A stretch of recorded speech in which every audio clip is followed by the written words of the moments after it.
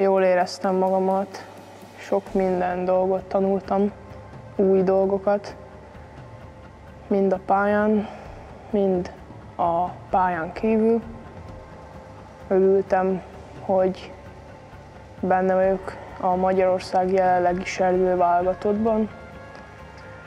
Szerintem egész jól mentem a, azon a hét, az előző héten.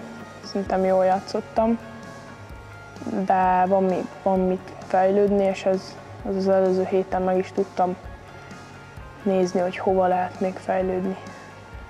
Szerintem már kellő szoros kapcsolatot biztosítottam a csapattársaimmal és az edzőimmel. Szerintem jó kis társaság voltunk. Legjobban a szegedi jobb szélső Kucsera Mátéval jövök ki.